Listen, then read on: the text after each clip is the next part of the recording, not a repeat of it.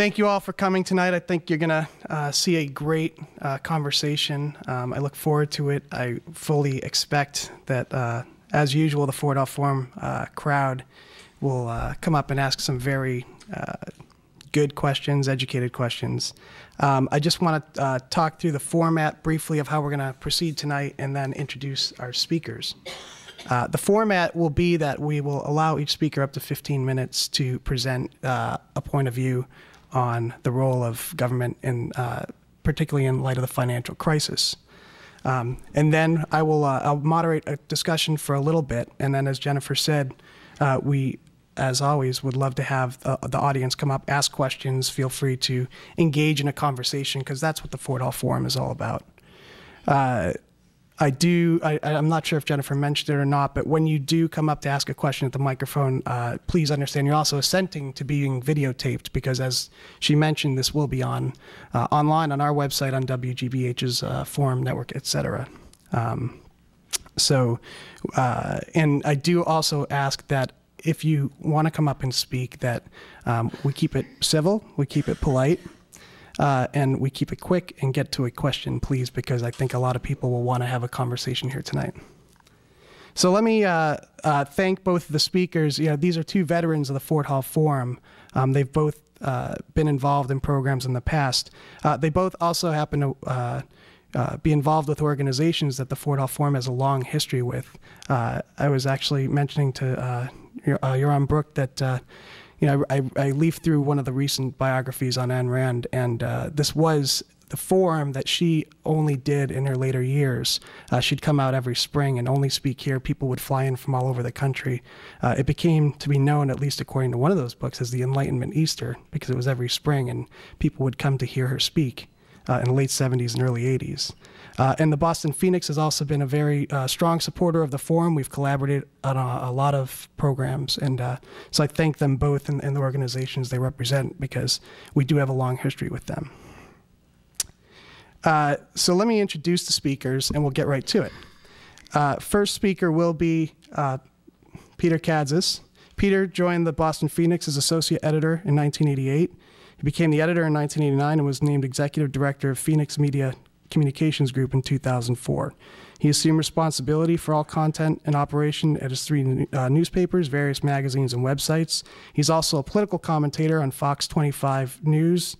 Uh, he is the fair and balanced one, according to him, although Cosmo may disagree. Uh, Mr. Kadzis' newspaper career includes work at the Boston Globe, the Providence Journal, the New York Daily News, Money Magazine, and Forbes. He has covered a variety of topics, including breaking news, politics, Wall Street, and the economy. Mr. Kadzis also worked as an editorial advisor to the Boston Business Journal before founding its companion publication, the Providence Business News.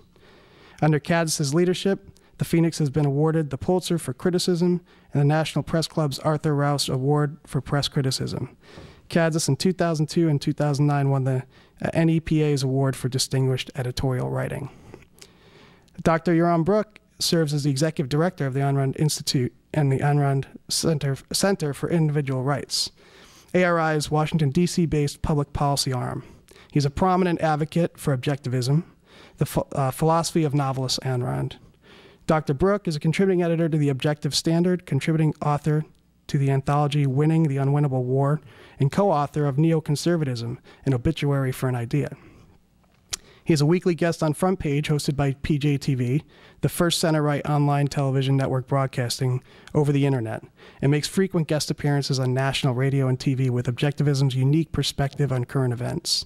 A popular speaker at universities, public forums like the Ford Hall Forum, industry conferences, academic panels, community and professional groups, his recent talks encompass the moral foundations of capitalism and individual rights, including the right not to be your brother's healthcare keeper. So with that, I will turn the microphone over to Peter Kadzis.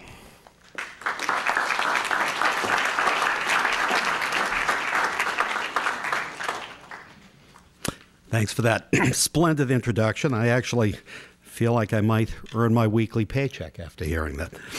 But um, let me launch right into this. And, and, and uh, please consider these more uh, a, a, series of reflections. Uh, one of the things I've enjoyed in my years at the forum is, uh, uh, despite how strongly held my opinions may seem, I come here always willing to have them uh, certainly modified. But um, our topic here today is, uh, I suppose, regulation, a word many people consider to be uh, a dirty one, a controversial one.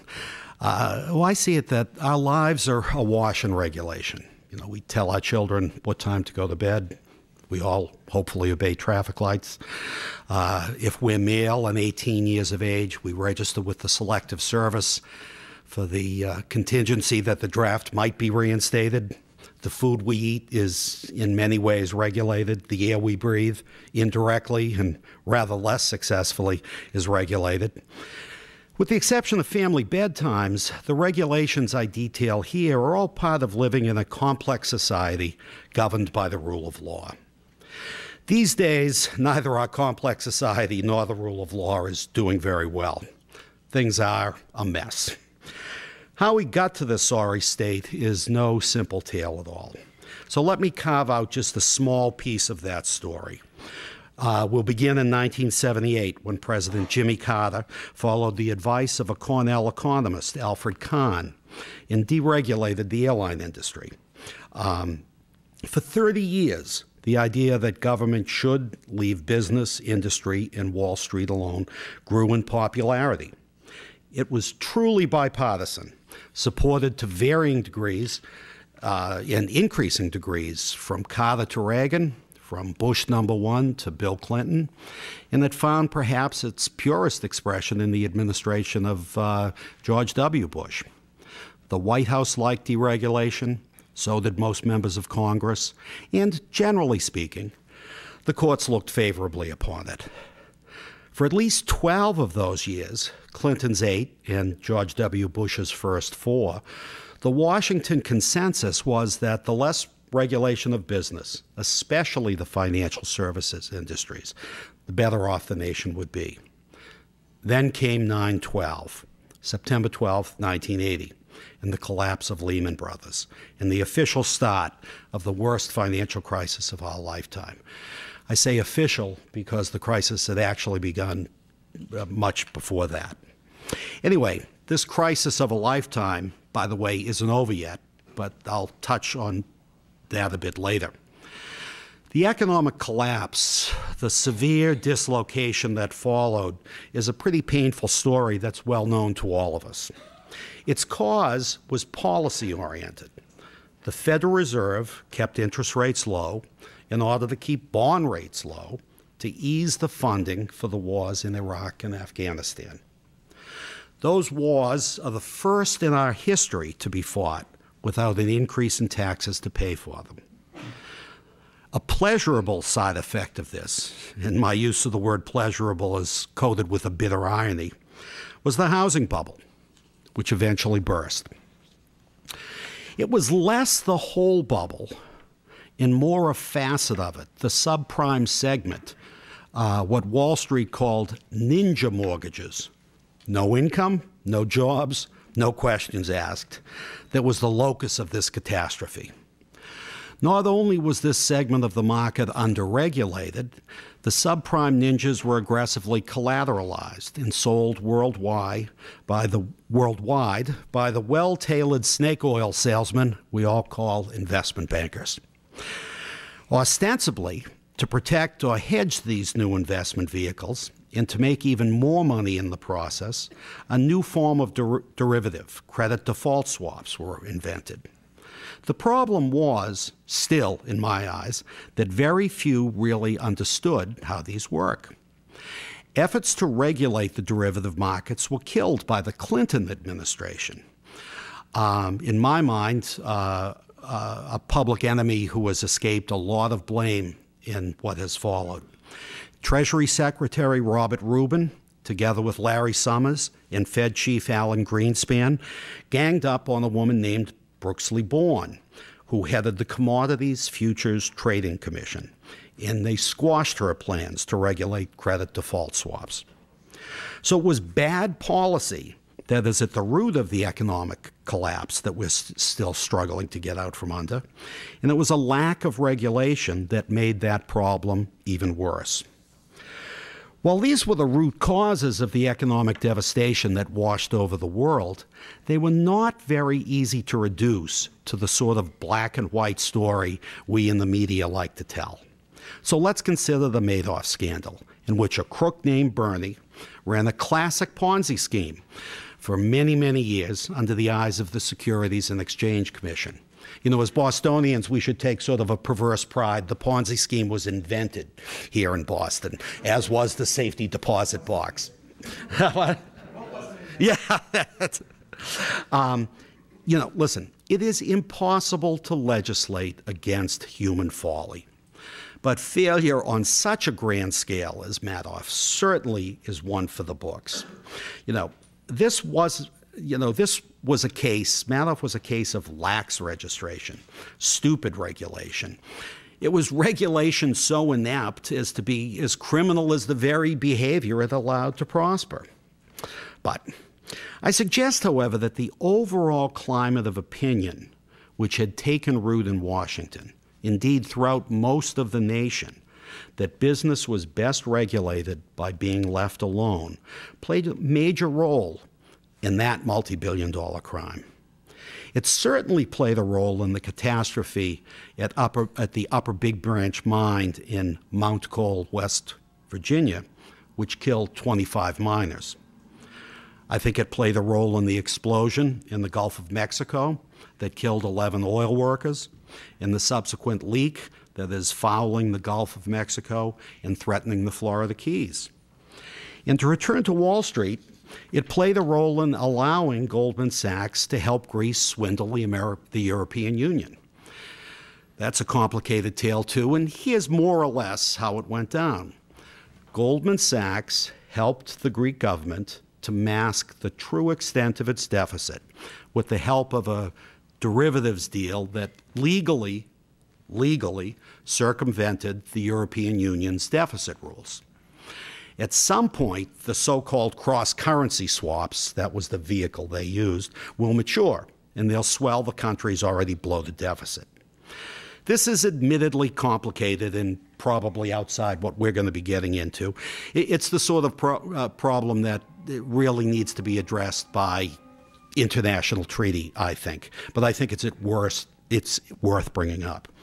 The Greek credit debacle and the threat of similar crises in maybe Italy, Spain, Portugal, Ireland, could do what 912, the Lehman collapse, failed to do plunge the world into a deep and lasting economic depression as grave or even graver than the one of the 1930s. Obviously, the economic consequences of this are dire, and the political implications are even more frightening. Let's not forget that the economic dislocations of the 30s led to the rise of Mussolini and the coming to power of Hitler. These two fascists, working hand in glove with Stalin and the military nationalists of Japan, unleashed the Second World War. That in turn birthed Communist China, which within our lifetime may well be the world's mightiest economy. Now, you might think that this heavy-set cat with a beard up at the podium spins a good yarn and ask yourself, what's this have to do with the way I live my life today? What's it have to do with the way I'm going to live my life tomorrow? Well, here's my answer. What we call Wall Street has, for a variety of reasons, some good, some bad, become almost as powerful as a nation state. To allow it to conduct its business unregulated unpoliced, is to invite disaster. Here we sit after the greatest economic expansion in history, and what do we have to show for it? A mountain of personal, corporate, and government debt. And if that debt keeps growing at its current rate, it will, according to the International Monetary Fund, bankrupt the United States in about seven years. A mindset that believed that manufacturing useful things for purchase around the world was a quaint notion best left to less developed countries also sprung up during this time. No, America said, we'll stake our future on the service economy. We all seem to have forgotten what Mark Twain once quipped that nobody ever got rich taking in somebody else's laundry. To me, re regulating Wall Street is not the only answer to all of our problems, but it is part of an answer. If you doubt that, just ask, I just ask you to remember 912, a date that history will record as being far more significant than 9 11. Thank you.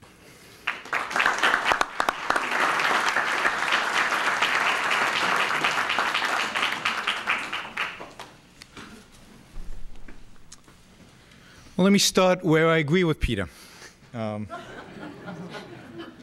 and that is that clearly we're at a point in history where the choices we make in the years to come uh, have huge implications. Um, there is a real possibility of that in our lifetime we will live through a depression worse than the 1930s uh, and then we will see the consequences, similar to what happened in the 1930s, of the rise of, of dictatorships, of, you know, the world as we know it ending. I think that is a real possibility, and and the debt that Peter talked about is, I think, the prime, the uh, the financial cause of all that, unless something is done.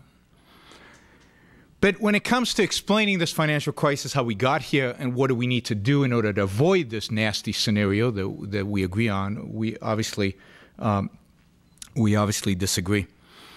Um, what we faced in the last three years is a debt crisis. It's a debt crisis, uh, and, and what I see it manifesting today is, in a sense, we've got a rolling debt crisis. It started with housing, it's, but we're, we're, it's, we're, discovering that this debt is held everywhere throughout our economy, both domestically and internationally. We are over leveraged. We have too much debt. We cannot afford to pay back that debt. And the question that needs to be asked is how do we get into this kind of situation? How did we get ourselves into this mess? Um, and I think to, to see this, and, and we could go back to, to 1978, we could go back because a lot of the roots of, I think, the problems we have today from an economic perspective, you would have to go back uh, to the Great Depression and the policies of FDR, who I think begins it all. But that would take us a long time to, to, to, to start back then and to roll this forward. Um, so I'd like to I'd like to start with more modern history, and that is the Fed's response uh, to 9/11. And while we agree that the Fed lowered interest rates are far too low, uh, we disagree on the cause. I, I, don't believe that the primary motivation was to fund the Iraq War.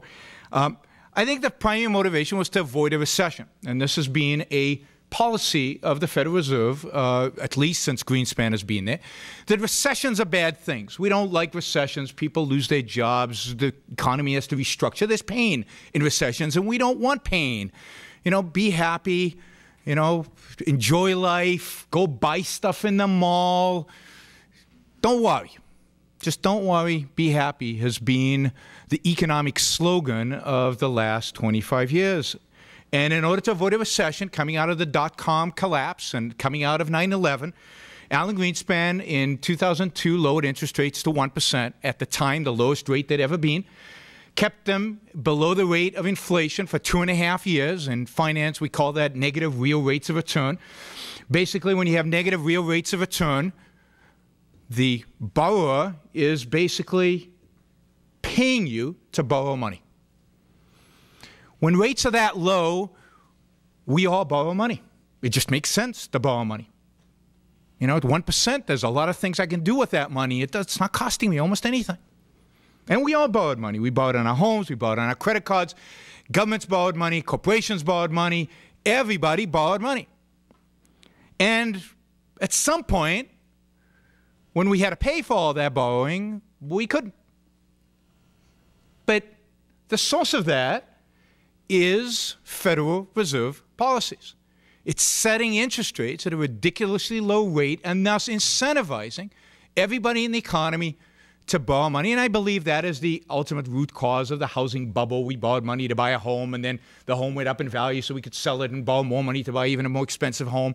And more people entered the market who could borrow money now for the first time. And you know, that's how you get bubbles. You get lots of money flowing around into everybody's hands and people go out on buying sprees, and prices go up when people buy stuff.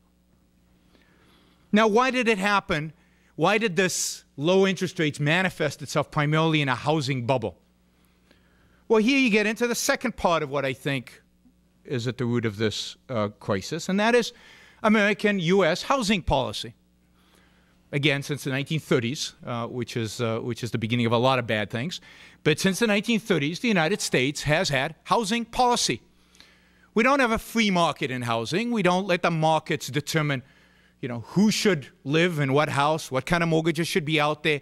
You know, we don't let the market clear. We don't have supply and demand. We have a whole regulatory and government structure devoted to getting people into homes. After all, it's part of the American dream, and it's the role of government, we are told, to make that dream come true. And therefore, government has been engaged in trying to make that dream come come true. And they did it in a pretty conservative level, in a pretty conservative way for many years. So they didn't really get into trouble, although, you know, I, I would argue in a, you know, maybe in the Q&A that the S&L crisis is related directly to this issue, to housing policy and what ha- and how S&Ls were set up. So, but that's a crisis we don't associate with this crisis, but it was basically caused by very similar things, bad Fed policy and bad housing policy. But as long as it didn't get too bad, uh, you know, nothing happened. But starting in the 1990s, there was a real push, particularly for low income individuals, to get people into homes. Um, the mandates for Freddie and Fannie to government entities, uh, they you know pretended to be private, but really were government entities. Uh, there was a push to get these two entities to lend more money for homes uh, and uh, to low income people and to lower the standards for mortgages. And it wasn't just Freddie and Fannie, there's, there's multiple entities that the government engages in. So when money became cheap in the early 2000s, when money became really, really cheap, it all flowed into housing to a large extent, funneled there through a variety of government policies and a variety of government incentives uh, that you know, made the bubble happen in housing versus anywhere else. And, of course, it doesn't end there because the, one of the one of the characteristics of this crisis is it is complex. There are a lot of derivatives and a lot of interesting and complicated stuff going on. But when you start peeling the layers off, you always find government somewhere down there. So, the Fed is a government entity.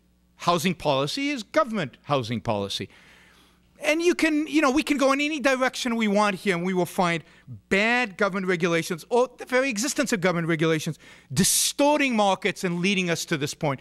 For example, why did banks behave so stupidly? Why did they behave so irresponsibly? Why did the big banks do some of the lending that they did? Well, how did they get their money, these banks, to do these silly things? They borrowed it. Now, why did people lend the money when the banks were behaving stupidly? Well, because they weren't worried. They knew they would be bailed out. There's been a doctrine in the United States, at least since the early 80s, called too big to fail. And the big banks all knew that they were too big to fail, and they behaved. If I tell you you get all the upside on deals, and you don't really suffer on the downside if you know if you go bankrupt, you take on a lot of risk because you get the benefit when the risk pays off, and when it doesn't, you just walk away. Too big to fail is a government policy. It's not a market policy. There's no such thing as too big to fail in the marketplace. Uh, you could go on and on. Credit agencies. You know, why did credit agencies give AAA ratings to junk, literally to junk that was created out there? Well, I mean, there were only three credit agencies. These are the three credit agencies when Orange County, the county I live in, went bankrupt in 1994, had Orange County rated a AAA, the best rating, just weeks before it went bankrupt. When Enron went bankrupt, they had it rated AAA just before it went bankrupt. In a marketplace, when you are so incompetent, what happens to you? You get competed out of existence. Why doesn't that happen to the credit agencies in the United States? Because there are only three approved by the SEC. You can't compete with them. You can't. You start a credit agency, do better than them. Nobody, it doesn't matter. The buyers of debt have to use the ratings of these three credit agencies. Government involvement, again, in a marketplace wouldn't exist. And again, you could keep doing this with every one of these and find government at the bottom. regulations, when this crisis began in the financial industry, were massive. I, I think it's a complete mythology that the Bush era was an era of deregulation. Quite the contrary. If you speak to bankers, particularly at the larger banks, and you ask them, uh, when was the what, was regulation less during the Bush era than it was beforehand? They would all say no. They longed for Clinton. They all longed for the Clinton era. Regulations were far lower under Clinton. Regulators were far more emboldened under Bush. And I have a theory that Republicans generally uh, give instructions to their regulatory agencies to be more vigilant in many cases to prove that they're not softies. They're not really pro free markets like their enemies portray them as.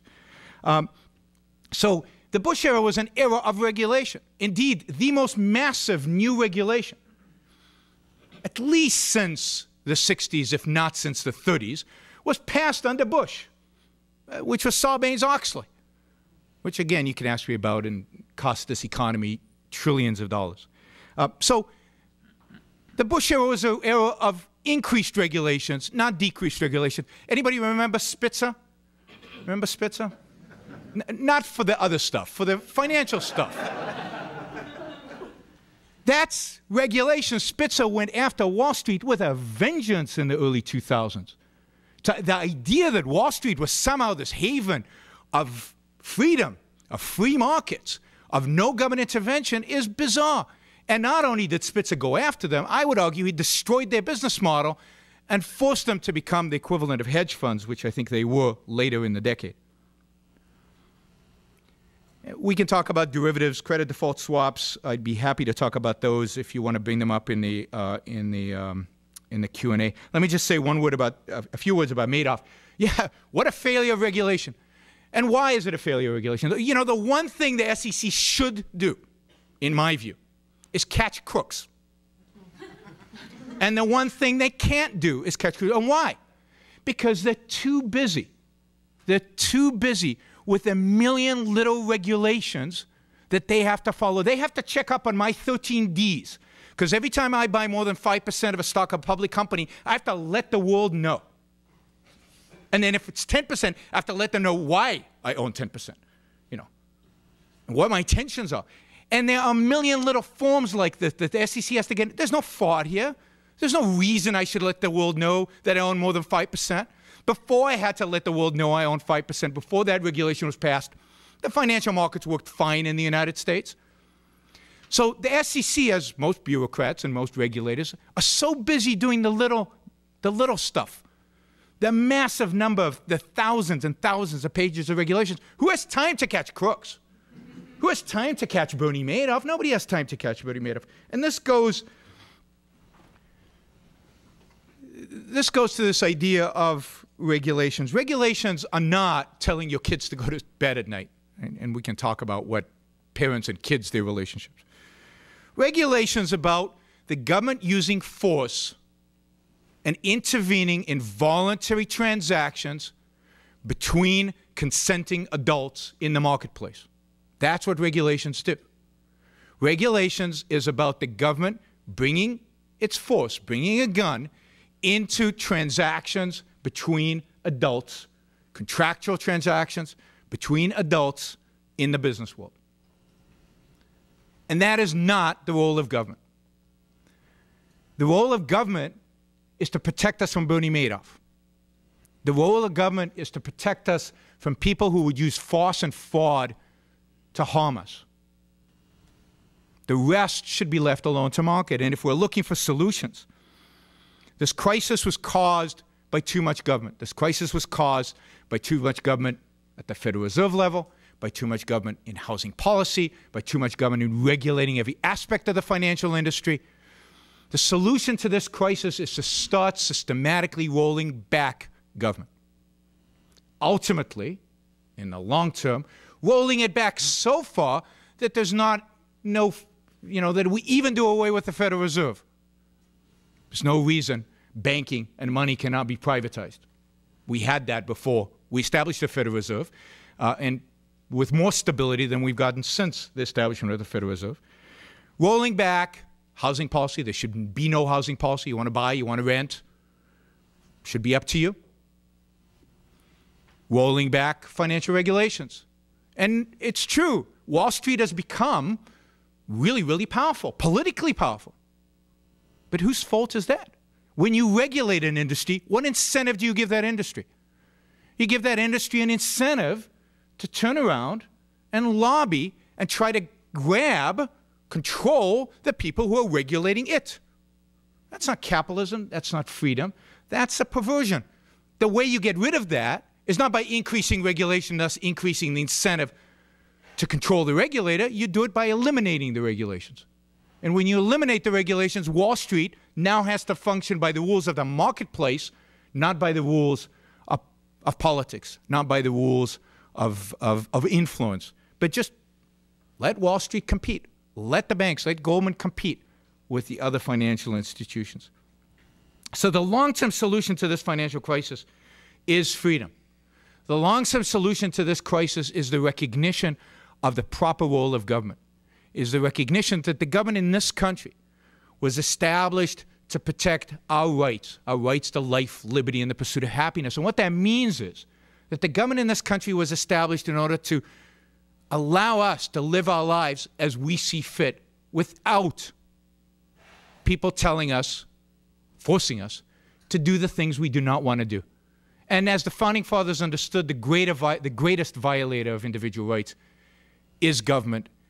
And what we need today is protection against our government. And the only way to do that is to start rolling that, rolling the role of government back from our lives, from all aspects of our lives, and a recognition and a recommitment to the true role of government uh, as the protector of our rights, protector of our freedoms.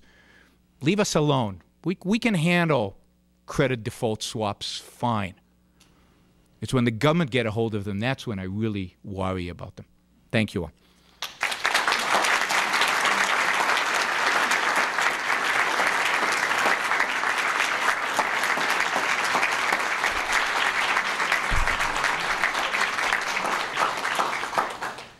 So, two very different opinions. Um, you know, from I, am going to try to simplify this as best as I can. I guess, um, Peter, from what I hear from you, is uh, it was a lack of regulation, and Yaron what I hear from you, it was it wasn't lack of regulation; it was bad regulation. Mm-mm. It was regulation. Period. regulation. no, I, I, would, I would say that it's not a, a, a it was um, an absence of a certain sort of regulation.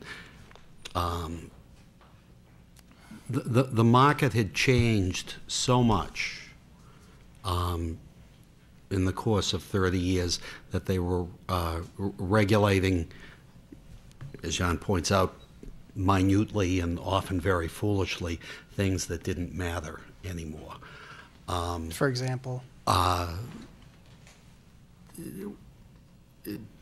paperwork.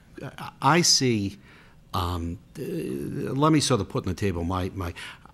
I, I generally don't like the idea of regulation. I sort of accept it as a necessary evil. Um, in terms of businesses in general, um, the financial sector has become so complicated and so large that I find it hard to see how the economy can really function without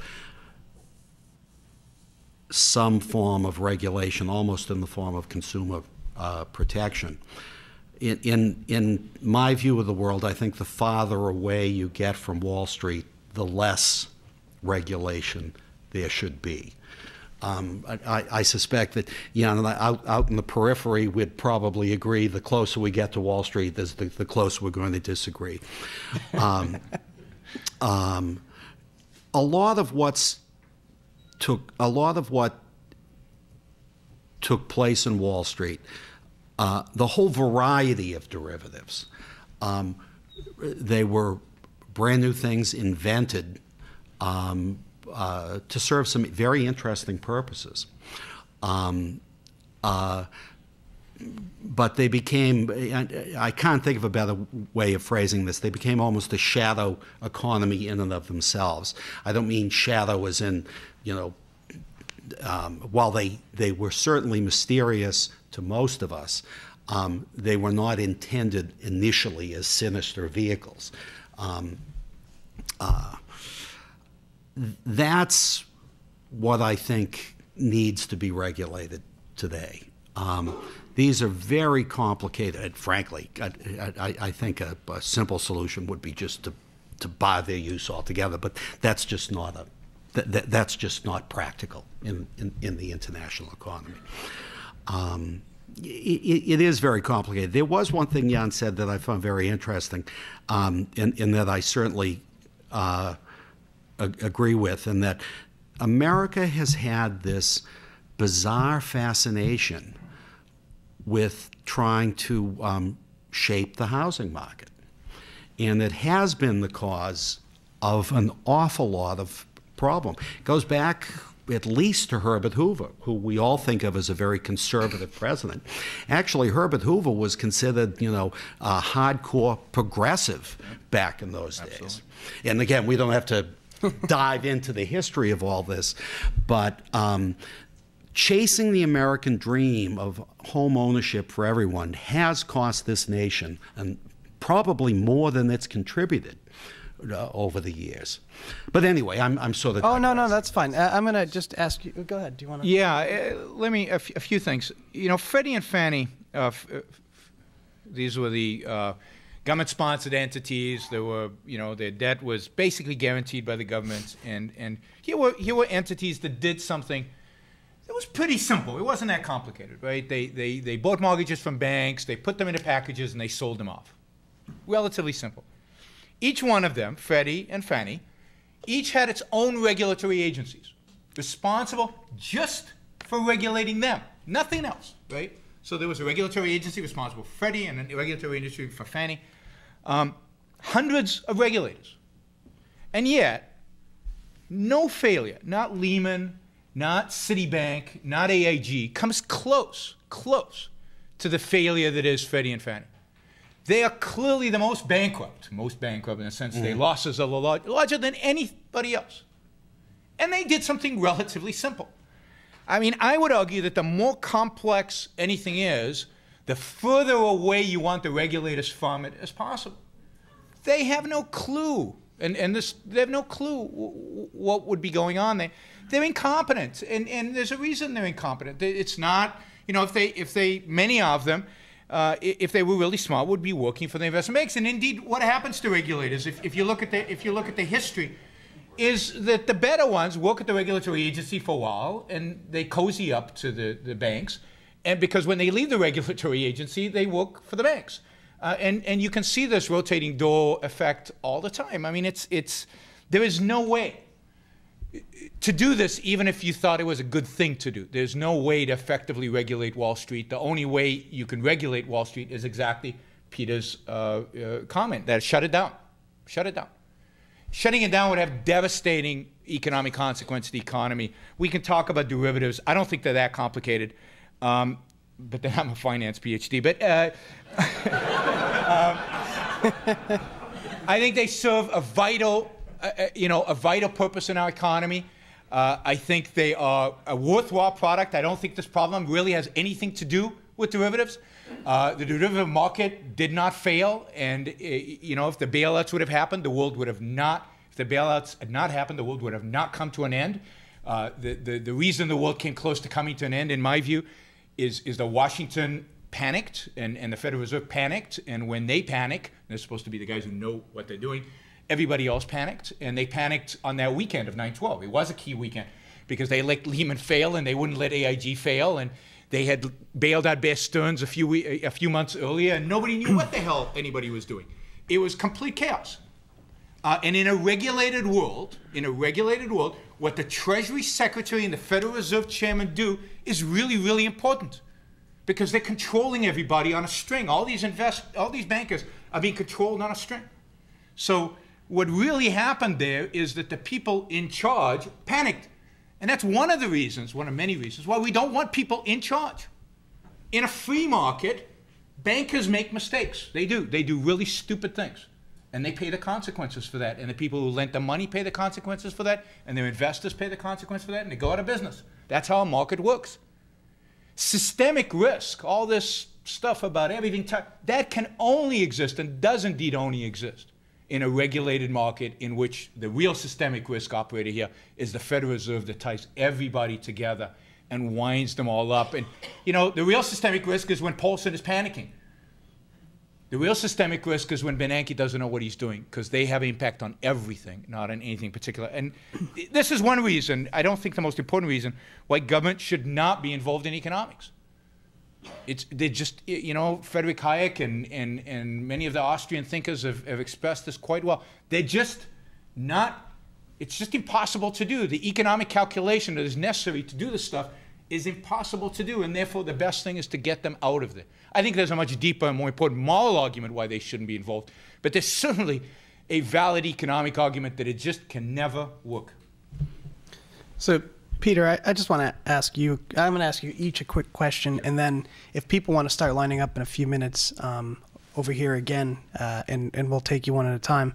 But Peter, I, you happen to have the unfortunate uh, uh, circumstance to sit next to somebody who works for a heavily regulated industry, very heavily regulated industry, and I can tell you that um, what I see on a daily basis, uh, what a you know a pharmaceutical company in this case has to go through in terms of regulatory um, responses, um, how you co- conduct yourselves, it is extremely protected already. Uh, and to be honest, a, a lot of days, uh, you know, I'm I'm worried about more regulations on this industry, and, and, to some extent, it's like when do, when do you do your job? So, mm. in some of these industries, uh, it's not just the pharmaceutical, um, but you know, in some industries, it seems as though we are getting to a point where regulation is so complex that nobody knows what they're doing. Not just the regulators, nobody knows what they're doing at the companies sometimes, and, and sometimes you play by the rules The change before you know it. So, so can it be possible to be overregulated? Isn't there at some point we say, I, listen, I, you know, I, I, I, I think it definitely can. Listen, in my little mini history of how we got to be where we are, I, I cite the deregulation of the um, airline industry. wasn't perfect, but I think it was a good move. I, I mean, um, the, the the the trend toward deregulation was not in and of itself a bad thing. Um, I mean, I have friends in other industries. I have lawyers who, friends who are lawyers who just sort of chuckle about how much money they make, you know, helping these poor bastards who are their clients, trying to, you know, keep keep track of this. Listen, mine is not a my position is not a defense of regulation per se. Um, do I think you know, drug companies like food companies need a degree of regulation? Yes, I do. I'll be honest with you. I'm not expert enough to know to what degree. And if, if you were to suggest to me that there's too much, you know what? I would probably agree with you. Um, uh, but it seems sometimes the answer is when, when a problem comes up that more regulation – is you know an instinctive answer. Perhaps these days more so. Well, and and, and you know we we, we, that we, leads we, to more problems. Listen, a, lot of these problems have to do with human nature. Um, it, it, take a non-economic problem, school bullying, know, which there's been big headlines here in Massachusetts. We're going to stamp out bullying with, you know, new government reform. Little story. My son, the fifth fifth grader, um, was the victim of being bullied. Um, we go to the school as parents have for a gazillion years. Uh, we were concerned because he was really hurt. Um, we talked to the principal, we talked to the teacher, we were convinced everyone had everything under control. It just happened to be the day that bullying was on the front page of the Globe. And I said, you know, this bullying legislation sounds like a bunch of baloney to me. The principal, the teacher agreed. They said, this isn't going to help us do anything.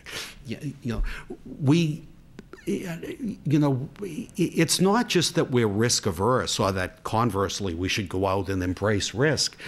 Um, we think we can cure every problem that exists, and I don't believe we can. Problems are part of life. Um, and, I, I do think there's a worldview that's far removed.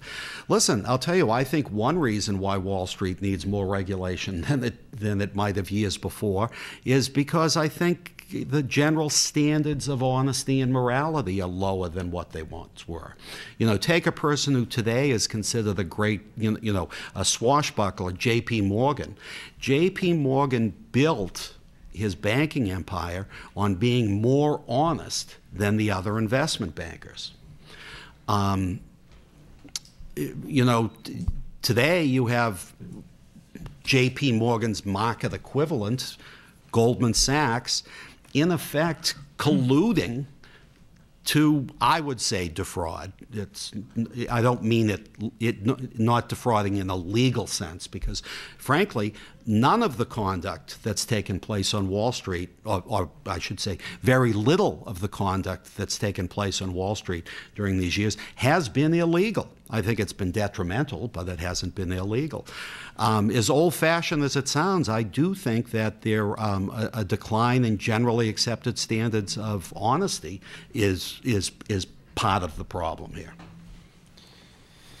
So, I, to some extent, I, I, talk about my own personal experience of overregulation, but I do see the need for regulation, and perhaps even you know upholding laws is regulation too. I mean, there's regulations to convict the Bernie Madoffs of the world, so we you know we do have to find them and hold them to some standards. So, um, I guess my question does, doesn't regulations provide some stability? I mean, isn't it good to know the rules of what you're playing? I mean, is it the change of regulations or is it, is it the existence really? Because I think to some extent, stability of regulations just knowing the rules of the game. You, know, you don't play a baseball game and change the rules in the seventh inning. That's, that's ridiculous. So wouldn't that be more helpful than not having or, or having a lot less regulation? No, I mean the you know every fascist dictatorship has lots of stable regulations. I, I, don't think that's the issue. Although you know they're not implemented in a stable way, but but they're, they're on the books in a stable way. No, I mean let's let's ask the bigger question: Why do we have regulations to begin with? So you know, I took an elevator up uh, up four stories and. At the corner of every elevator in, in the entire country, there's a little certificate that says it's some bureaucrat has checked this elevator and it's okay for you to write it. And, and, and this is a question why is it that we believe we need some bureaucrat to approve the elevator, right? I mean, if you think about it, put on your business hat. I, I used to tell, when I do business seminars, I always Uh, tell my, uh, you know, the, the attendees, I say, you know, you all know that the best way to make money in the elevator business is to build defective elevators and to kill people on a periodic basis, right? and they all look at me like I'm nuts because no real businessman, every real businessman knows that that's not how you make money. So why do we have them? Uh, why do we have uh, elevator inspectors and food inspectors and, and, drug inspectors? And why don't we trust the market to deal with these? And there are ways, every one of these situations. There's a way in which the market has shown, and I could show you if the market hasn't existed, how the market would deal with it in a much more satisfying way, I think, than, than paying some uh, government official to come and do it. And I think it has to do, and this is, it has to do with, with the, the morality the ethics that we as a culture hold, uh, hold dear. So, what is it that business is about, that, that markets are about? Well, what is it that the guy who's building the elevator is about? Well, they're about profit, right? They're about making money. They're about making money for whom? Well, for themselves. So they're about being self interested.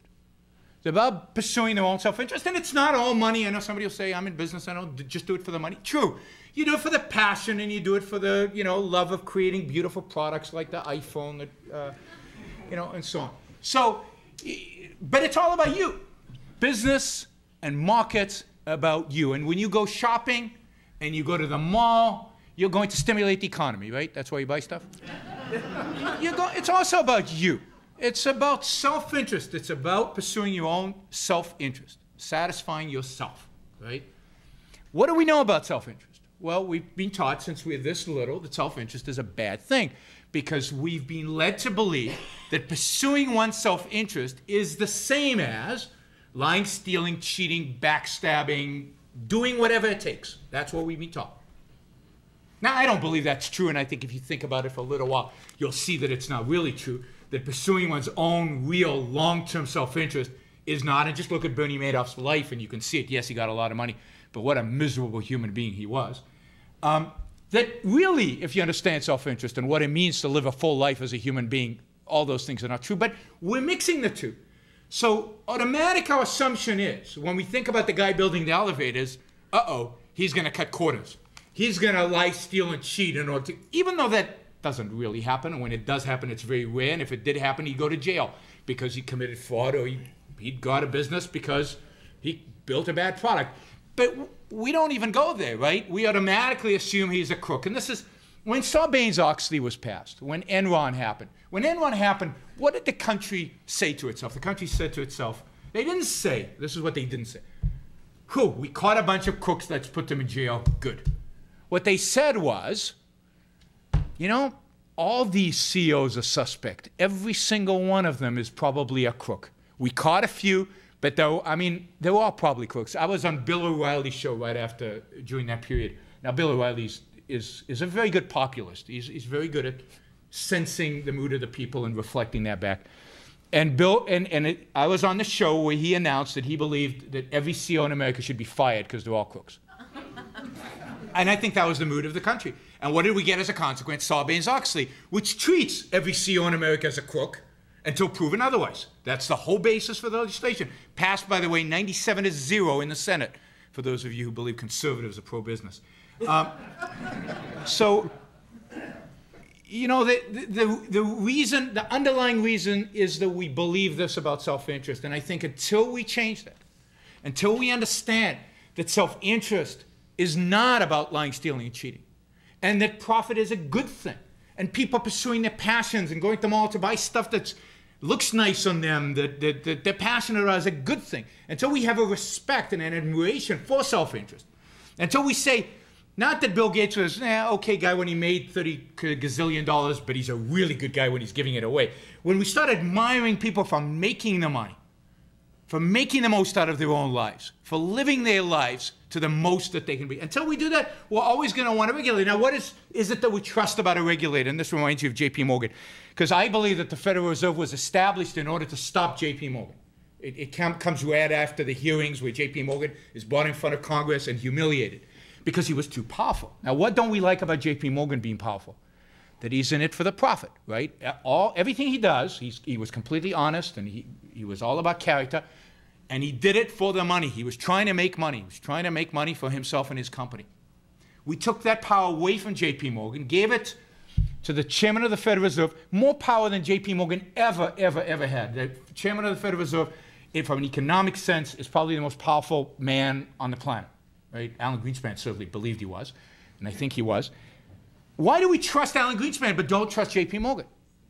Because Alan Greenspan is a public servant. He's not in it for himself. He's trying to maximize social utility and make us all better off. And we trust people like that because of what we've learned about ethics when we were little kids. And I say that's wrong. I don't trust public servants. I really don't. When people tell me they're trying to do good for me, I run as fast as I can.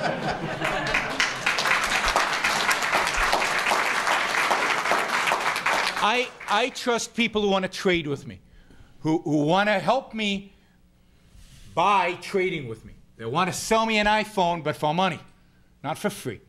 And I think those human relationships are much healthier. The profit seeking human relationships are far more healthy than the public servant, do good, public interest type people and type relationships. And, you know, and that's why when government intervenes, it fails. It fails in the drug business, it fails in the banking business. We can talk about regulations far away from Wall Street and how disastrous they are. The, the, every aspect of our lives today is coming under some, some form of regulations because somebody in Washington doesn't trust our market. You know, that sense of trade, that self-interest that is involved in the market transactions. I'm going to give Peter a minute, and then again, if people want to start asking questions, please start lining up over here. Um, there's a lot squirreled away in what was just said that I agree with, but uh, let me point to a couple of examples. Again, I think a noticeable one is in the Gulf of Mexico. You know, is it in the interest of an oil company, you know, to wreak ecological havoc? No, it isn't. Could it have been present, prevented? This time it could have with the use of a certain valve.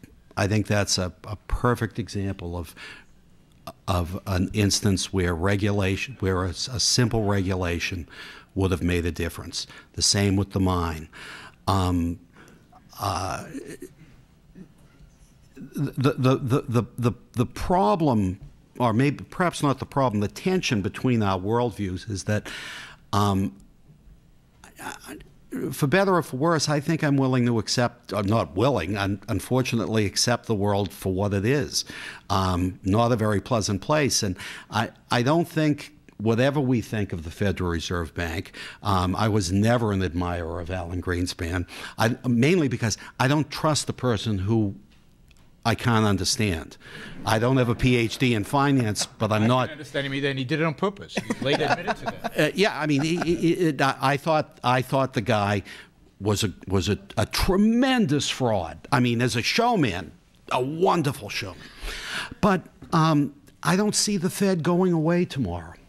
Um, in as much as you'd like it, no. uh, it it's not. And uh, my my less than heartfelt argument for smarter regulation of Wall Street um, rests uh, on, on my assumption that um, when, well, I'll, I'll, I'll relate it to my life. When, when the economic hazard hit in 912, the Boston, everyone knows newspaper business is not in great shape.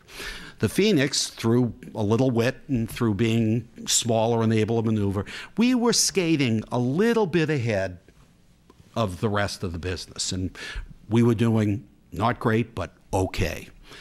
Within six months of the big crash, the big crash hit us. And, you know, I took a 10% pay cut. People who made less in the company, took smaller pay cuts. But, you know, 912 hit home in a very real way to me. We live in a society so complex that um, intricate financial arrangements, um, no matter how well intentioned, if they go wrong, can boomerang and whack out the innocent bystanders. I don't think regulation is the answer to everything, but I do think it's something we have to be smarter about. Anyway, that was my little. Great. Thank you. Hi, I'm Jerry Berwick. Uh, Yaron, I have a, a, question for you. I mean, I agree with you that people will act in their self interest, and I think that's a good thing. But yet, Moody's and the other rating agencies rated these toxic, crappy mortgages AAA and Ford Motor Credit is given a triple C rating. And I think what, from what I understand, is that uh, when the derivatives were being marketed, you know, they would go around to get a, to get a AAA rating, or these mortgages would be marketed for a AAA rating. And if one rating agency wouldn't give them a AAA, they'd shop it. The banks and investment bankers would go and shop it for another agency that would finally give it to them. So then they all played the game. I want to know why the, the agencies themselves are not held accountable for what they have done, and why shouldn't it, and why the, do you feel that there should be some form of regulation on the agency saying, listen, if you put, if you give something a, a, a bad rating, and it's it's obvious that you've given it a bad rating, that you will not only be penalized by uh, corporately, but the individuals involved in this can not only can be personally liable for it and criminally liable for it, because this is something that this is something that is uh, endemic to the uh, income tax system, and it seems to work pretty well. And I think if a person is aware that if he's going to give a bad rate, uh, going to be give a rating that, that is inappropriate, uh, they would be think very carefully before they uh, give a bad rating. Sure. I, I mean, a number of things. One is uh, you can't really do that. I mean these ratings are hard to do. I mean, let's not let's not trivialize the job of the rating agencies. This is tough work. Uh, they get it wrong sometimes. Most of the time, they get it right. But you know, and I'll, I'll be very critical of the rating agency in a second. But let's first appreciate the fact that what they do is hard, and that as part of business, they're going to be wrong sometimes. I think they're systemically wrong. They certainly were systemically wrong about mortgages. But why? As I said, rating agencies are not a market phenomenon. And this goes back, if you really want to understand what happens with the rating agencies, this goes back to ERISA, the, the, the regulations that regulate pension plans and insurance mm-hmm. companies. Yeah. What ERISA said is if you're a pension plan and you're going to invest in bonds, the only kind of bonds you can invest are AAA rated bonds. And then it says, but those bonds can only be rated by those agencies that are approved by the SEC. And the SEC will only approve three of them. So here you have an industry that is shielded by regulation from competition, and it's got a customer base that, by regulation, has to buy their product, hmm. right? right? All you have to do in order to fix the rating problem is, and there's actually a proposal in front of Congress to do just that right now, and it actually one of them, the amendment passed. I don't think it'll make it in reconciliation between the House and the Senate, but it did pass. And that is all you have to do is get the government out of the business of the rating agencies. That is, don't force pension insurance companies to buy AAA, allow them to make their own judgment about what they buy, and allow competition. Eliminate the SEC's stamp of approval on only three rating agencies. If you had competition and one of the rating agencies systematically got it wrong, what do you think would happen to it? They'd go out of business. The employees would lose their jobs and they'd go out of business. Other rating agencies who got it right would gain business. That's how markets work. That's the beauty of it. The other aspect of this that I want, another element of why mortgage-backed securities got triple A rated is, is we have to think back to the political atmosphere in 2003, 2004, and this is this is true of the Bush administration. Bush gave a famous talk in Atlanta in 2003 where he talked about home ownership and the need for home ownership and more people need homes. And this is a big thing for Bush. And Barney Frank in, in the House and, and, and uh, Chris Dodd and, and many others in, in Congress were pushing. Freddie and Fannie, Freddie and Fannie, they're great. Housing, housing, housing. This was a big initiative for both parties. Imagine if Freddie and Fannie in 2003 or 4 or 5 or 6 or 7 had said, you know, all these mortgage-backed securities that Freddie and Fannie and all these other banks are putting out, they're not AAA, they're Triple C. You know what kind of political, you know, backlash they would have suffered? They would have come. Uh, what kind of heat they would have come? Uh, you know, they they would have been driven out of business because it's a business that's approved by politicians, by the SEC. They had strong political incentive to stamp these things AAA, AAA, AAA. Now, there are other reasons why they were AAA. For example, if you look at housing history, and they use they use these simple algorithms because that's what the regulators understand, so they use them. And the, and it, the simple algorithms use historical data, and based on historical data, housing prices never go down, and therefore they were AAA. Well, I don't know. That was, but that, but that, that really was the whole major part of the problem. Well, but thank that, you. it's government. AAA. It's government. Thank you. We're going to move on to the next question. Thank you. Uh, did you want to comment on any of that? No, I agree with a lot of that. I, will make one, one point. The, the, in addition to, um, in a way, the gentleman who asked that question touched on a, a I hate to keep saying a very complicated.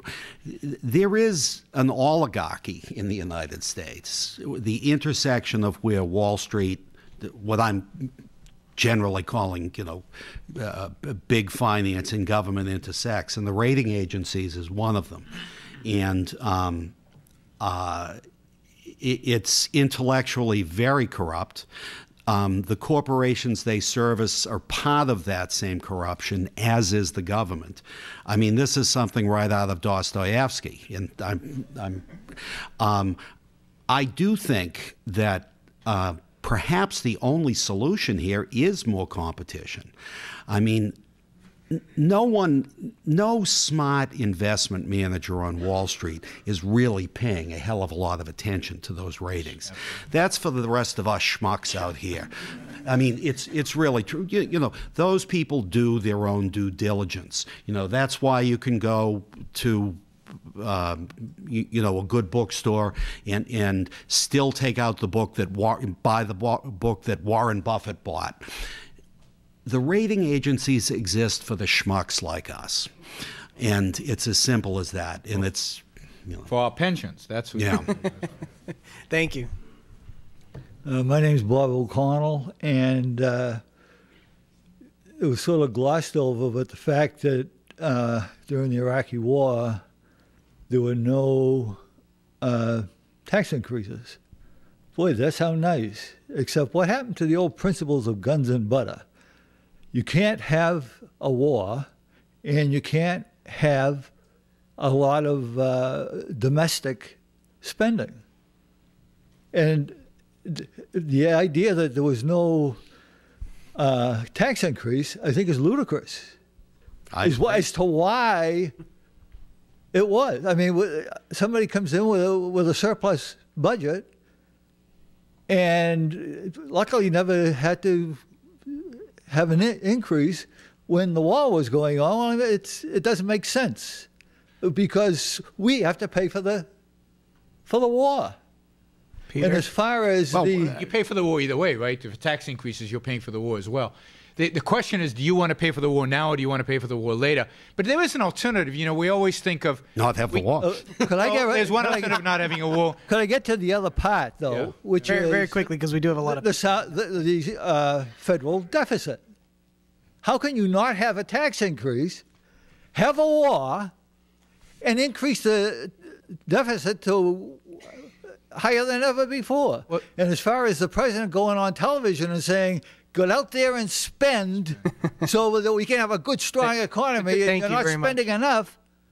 I mean, let's face it. Yeah. Who's the leadership? But this is this is this is I find this really interesting because this is a mindset.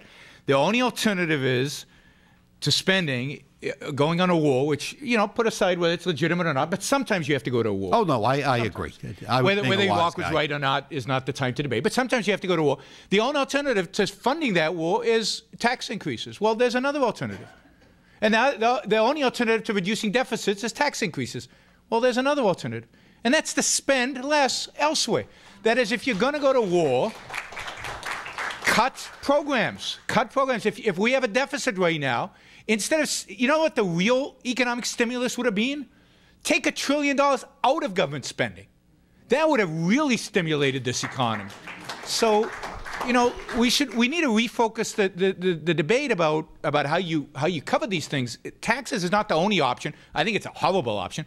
The the better option is to reduce the size of government and to limit its scope of activities. Peter. Well, in theory, that's true. Uh, listen, the whole idea, though, of um, uh, f- you know forcing the government to financial brinksmanship was one of the the godfathers, if you will, of that thinking was Robert Bartley, for many years the editor of the Wall Street Journal. In a not widely read publication, The National Interest, hmm, about a year, 18 months ago, he did a in a footnote, but nevertheless, he had his mea culpa saying, geez, that just didn't work. Um, theoretically, we we could reduce the size of government. I'll tell you this England's going to find this out in the next couple of years. We're going to find this out in the next couple of years. The amounts of money we all owe, whatever we think about the defense budget, whatever we think about the health care budget to come, which I don't think anyone has any idea how expensive this is going to be. Um, we're going to get reduced government, and none of us are going to like it. Um, but, but, but I think the answer to that gentleman's question is, is that Americans, all of us, or many of us, have become intellectually sloppy. We think we can have it all, and we just can't. Look, in, in sort of simple terms, if you're going to, a war worth fighting is a war worth paying for. I happen to think the war in, in Afghanistan was a war worth fighting. I think the war in Iraq, horrible person that Saddam Hussein was, was a massive mistake.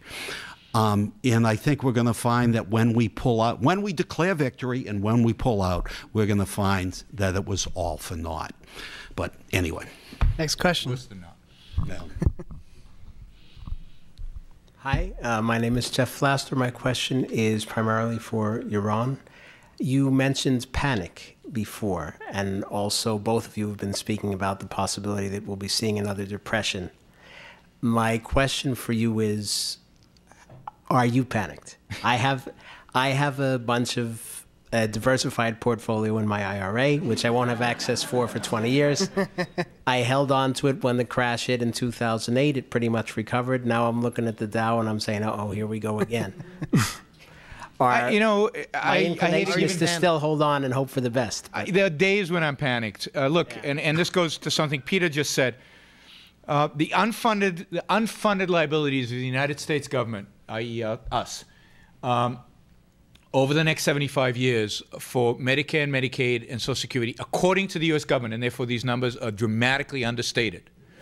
No, they are. They are because they've been wrong and they've been understated every time they mention these. And if you look at the assumptions, the assumptions just unrealistic. 103 trillion dollars. Um, that does not include the new health care bill, which will cost trillions to fund. That does not include the fact that every pension plan in the United States, particularly the public pension plans, are all underfunded to the tune of several several trillion dollars, and the government is a guarantor of all those. It has so-called insurance fund. Um, I mean, you just start doing the math, and you could tax everybody at 90% and assume they all continued working, and you still can't pay for it. Um, it- you know, it, it is, we are heading, I like, this is an analogy, some of you have heard this analogy because I use it a lot these days. We're on, I believe, we're on a raft, on a river, heading towards a waterfall. That waterfall is this massive depression or whatever it's going to be. And the 300 million people on this raft, and we're all rowing with the current right? Maybe, maybe Republicans have little holes in their paddles and they row a little slowly, maybe. And maybe Democrats have bigger paddles. It doesn't matter. We're all rowing with the current. And th- that's just the economics uh, of it. And I, I agree with Pete. I think we've seen a decline in the in the quality of thinking in this country. I've seen a decline in the horizon in which people think.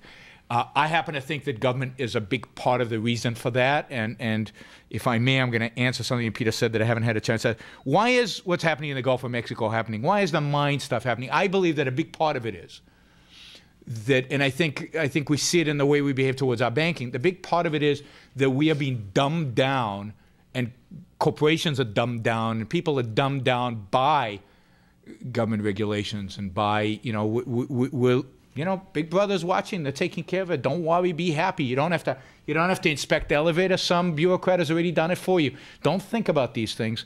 I think there's a lot of that going on.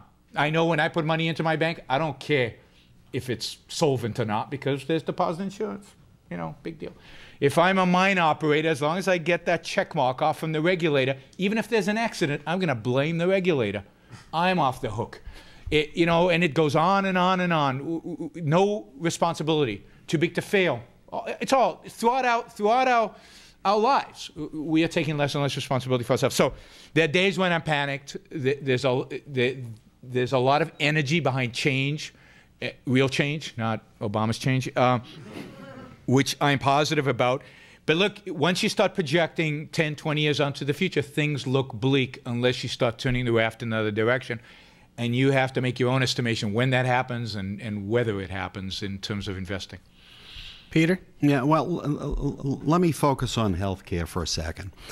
I love the idea of national health care for everyone in theory.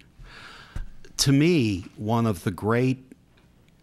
he- Here's what's crazy about the idea national health care insurance was invented by Otto von Bismarck, a German who was far more influential in his time. He was, in a way, the first socialist. Marx came up with the ideas, but Bismarck implemented them.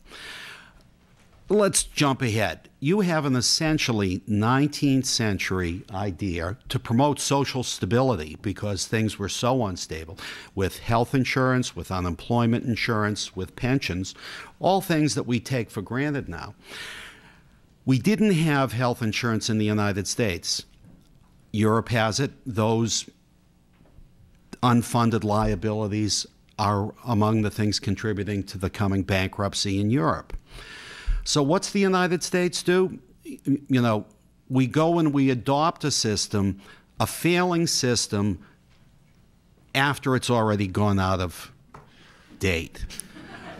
Why did we do it? Because the American labor movement made it a top priority for endorsing Obama. Um, to me, the corruption, the intellectual corruption here is no attempt was even made with something like, say, Social Security to say, this would have been much more palatable for me if someone said, look, we're all by the way, what I'm about to say wouldn't solve the numbers problem, but at least it would make some intellectual sense to say, all right, we're going to all have national health insurance, and you know what? We're all going to pay something for it. The debate was at what point do you start charging people? You know, who don't you charge? Uh, you know, again, let's, we have it now. We're going to live with the consequences. The consequences are going to be much more complicated and I believe much nastier than most people think. But in putting the program together, we didn't even make a stab at trying to get everyone to contribute to it. T- to me, th- that sort of shows the folly of this thinking. Um, you know, in a way, it's a, a, form of something for nothing. You know, well, if you need a heart transplant, why does a $5 copay matter? Well, it matters because you stop and think that this isn't a free service. Um, you know, I don't see anything wrong with someone making $30,000 a year with two kids, which is basically just above the poverty level. I don't see anything wrong with them making, even if it's a token payment to such health insurance. We live in la la land. Thank you. So we have about 10, just on, you know, 10 to 15 minutes left here, and I, there are some people standing. So if you could, when you ask a question, make sure to get it quick, and I'll ask the speakers to. Odd. Yeah, I know. but if we could just try to get through the rest of uh, the questions. Thank you. Uh, my name is Bill McDermott. Um, Mr. Kadzis, you mentioned earlier that you thought the Bush administration was spurred of deregulation um, and maybe a pro-business uh, administration. Can you give specific evidence? Well, listen, I'm just as hard on the Clinton administration. Oh, uh, I'm just speaking specifically of the Bush administration, and also, uh, Dr. Brook, if uh, you said that the Bush administration wasn't pro-business, uh, could you give maybe an explanation as to why most people think they are? Um, thank you very much. Well, I'll, I'll give a quick example. Look.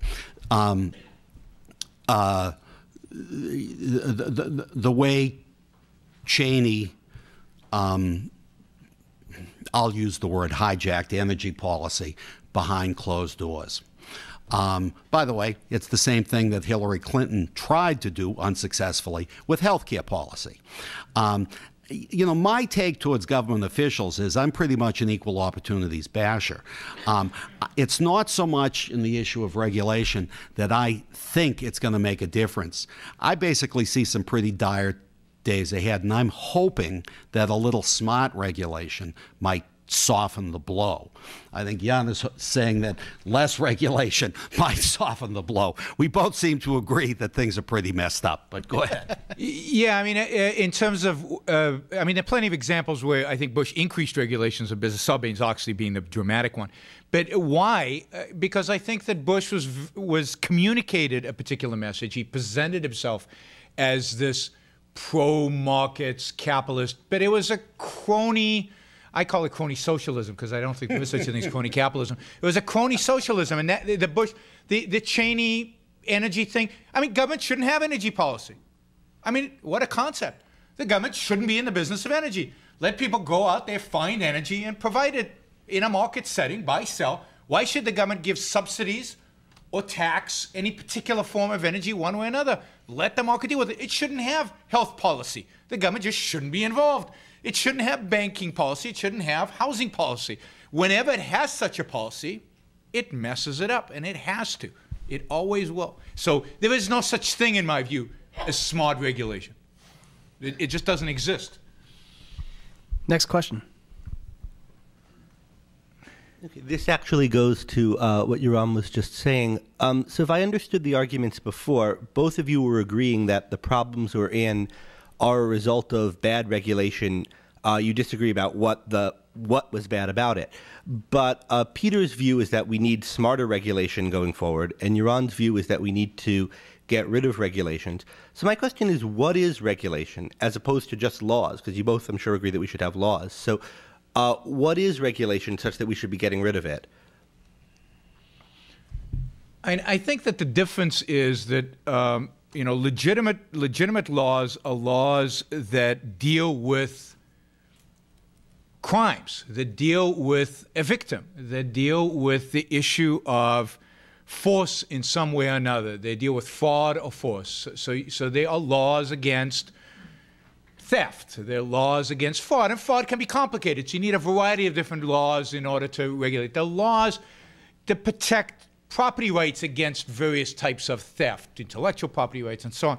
So laws relate to crimes that have to do with theft or, or bodily harm or, or, some violation of rights, some restrict, somebody restricting your freedoms.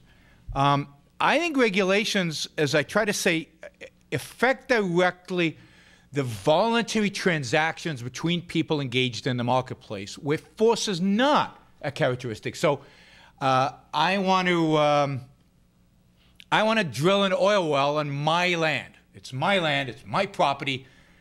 Why shouldn't I just be able to bring a rig and drill, I'm assuming I'm not harming anybody else's land around me, and so on? Yet there are a million regulations dictating what kind of equipment I can use and, uh, and so on that have nothing to do with just property protection, but have to do with wanting to determine how I use my property or how I engage in business with other people.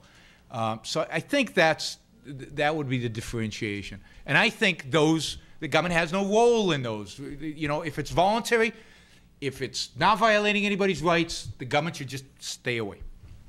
Peter? I'll say in spirit, I agree with. I certainly agree with its definition, um, but let's take his example of drilling on land. I'd have a harder, t- I'd have a hard time generally arguing with that.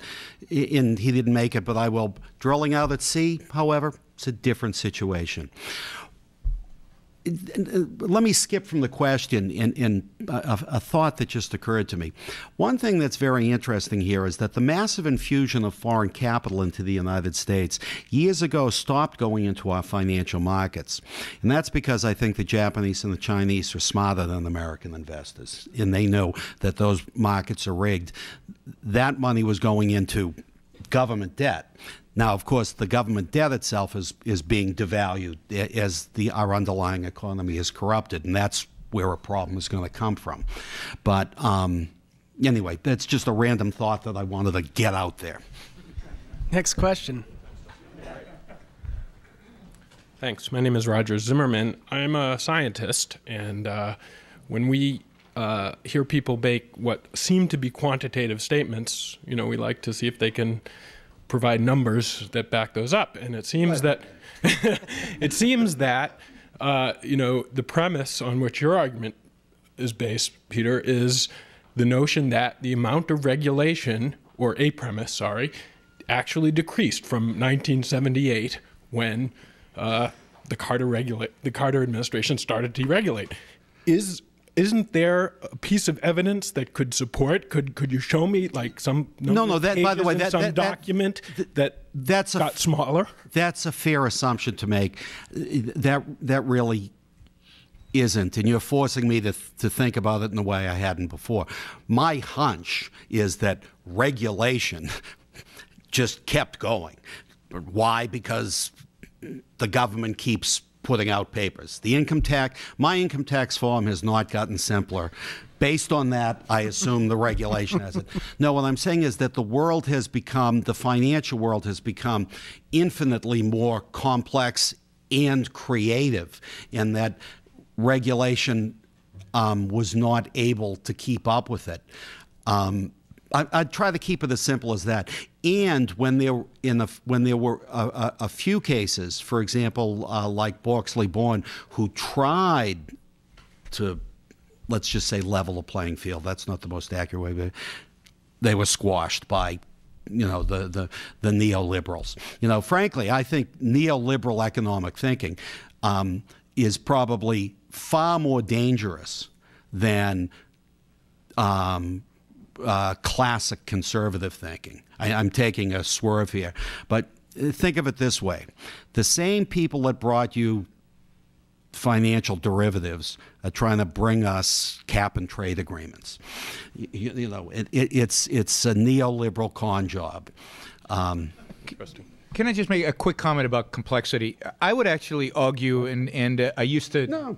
in, in my days in finance, I used to actually do this, that one of the reasons things become so complex is because of regulation. That is, because there's so much regulation in the financial industry, the banks spend an enormous amount of money and talent and brain power to try to get around those regulations, which they should because they're trying to make money. And much of the complexity that exists in the in the international financial market is a consequence of of uh, instruments and mechanisms to get around regulations that shouldn't exist. And you could even argue that credit default swaps are a mechanism to buy insurance that the insurance industry is not allowed to provide because of regulations. So, and, and it's needed. The fact is, credit default swap, something that does something like credit default swap, is needed out there. They came up with derivatives, complex derivatives, because that was the best in this regulatory environment. That was the best way to do it. The fewer regulations you have, I think, the less complexity you get in financial markets, at least in uh, this type, this type of systemic complexity, because I think much of it is to get around the regulations. Folks, we- it's 8.03 right now. Just want to let you know we're going to answer these last couple of questions, and you'll be out of here in just a few minutes. Thank you. Good evening. My name is Vitaly Vashkevich. I'm a student. Um, question to Peter Kadzis, please. Uh, by the same reasoning as you claim that, and you mentioned um, oil Gulf, Gulf oil spill a few times, uh, do you th- and you claim it happened due to the lack of the government regulation? Do you think the greatest technological catastrophe in the hu- human history, which happened in 1986 in USSR, Chernobyl, explosion in the nuclear plant, do you think it happened due to the lack of government regulation? Does it happen to Oh, at no, a listen. state nuclear plant? And do you think I, I, I, eruption? I have nothing but contempt for the Soviet Union, and I, I really think I, I think the intellectual basis for the question is just it, it, it's a cute line and it's got a great laugh, but you know the, the the the Soviet Union is one of the original rogue states. Um, I think the basis for comparison is totally without merit. Okay. Um, another another question. Another. Very, uh, we, we, we have some other people, so if, if it's very quick, but otherwise we really have to move on. Okay. It was a rhetorical question. Oh, all right. Okay. That's, Mr. Kadzis, when I came here, I expected to hear a to hear a very strong denunciation of Mr. Brooks' Randian view of things, and I'm very pleasing, uh, very pleased to hear your kind of not so radical Boston Phoenix type view. I can't imagine the Phoenix editorializing and with, with a lack of passion that you've displayed here today. Are you willing to say that Mr. Brooks' view of things, if his vision were put into place, would not be disastrous? That his vision is worth looking, uh, taking a look at? Mr. Brooks's vision and my vision have no more chance of being put into play. If they were, that's the question. Well, no, because I, I think both of us are coming from it very different points of view. Um, it's a very good question. Um, but uh, I think, unfortunately, unfortunately for us, we both have a, are very worried about the future. Um, I don't think there's much that either of us is saying is going to make much difference as to what's coming. I think, unfortunately, we're here speaking in a very theoretical realm.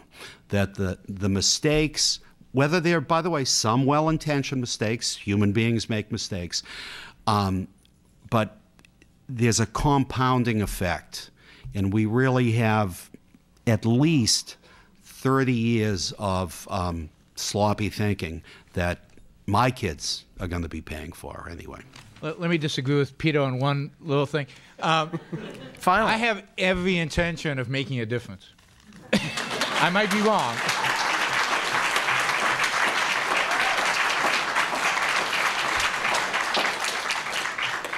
Well, listen. I hope. I hope you're right. Well, I'm. To, to Peter's, I hope to Peter's right. defense, to Peter's defense, I'll tell you that he does try to make a difference. Does I do what? you do try to make a difference. Fast question, fortunately. Uh, the SEC recently uh, filed suit against Goldman Sachs, and I'm curious about uh, both panelists. Your comment on that? Uh, does it rise to the level of fraud? Uh, their accusations, um, and if they don't, do you think that Goldman Sachs did anything unethical? Oh, unethical, yes. Illegal, I'm not so sure. I mean, I'm not sure that they've broken the law. Um, do I hope the guys burn in hell? You bet I do. But I'm not sure they. I'm not sure we can legally send them to jail. So finally, we're going to disagree. Um, I'm not sure if they broke the law, but I don't see any ethical problem with what they did. Uh, and and this is why. Um, this is not the case. Uh, you know, this is not the case that Goldman called up their clients and said, "Look, we've got a great instrument here to sell you. You should buy it. We're buying it. We think this is going to go through the roof."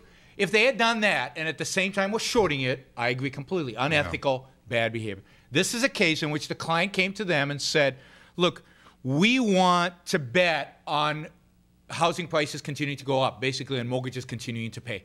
We want to bet on that. And the instrument that Morgan, that uh, Goldman Sachs actually put together is more complex than uh, than uh, credit default swaps. Yeah. Uh, it's because it's it's uh, it's not. They weren't actually mortgages. They were synthetic mortgages. It gets really complicated.